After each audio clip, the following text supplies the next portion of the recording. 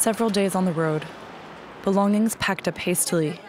It's a story that many of these people have already experienced once before when they left South Sudan as civil war erupted in 2013, shortly after the country gained independence from Sudan. If I'd had the choice, I would not have come back to South Sudan. I would have gone anywhere else. But all the roads were closed.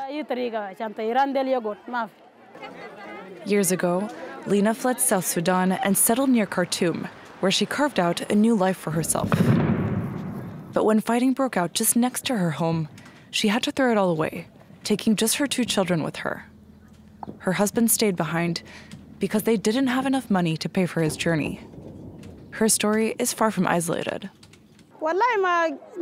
People used to say that South Sudan wasn't stable, so we decided to move and build a home in Sudan because of the instability.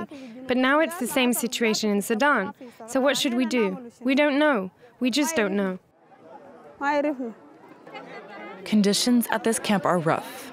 Food is scarce, children are getting sick, and some don't have anywhere to sleep. Many hope they will be able to settle in a third country. Up until last month, more than 800,000 South Sudanese refugees lived in Sudan. Since fighting erupted in Khartoum, the UN Refugee Agency has registered more than 30,000 people crossing into South Sudan. More than 90% of them are South Sudanese.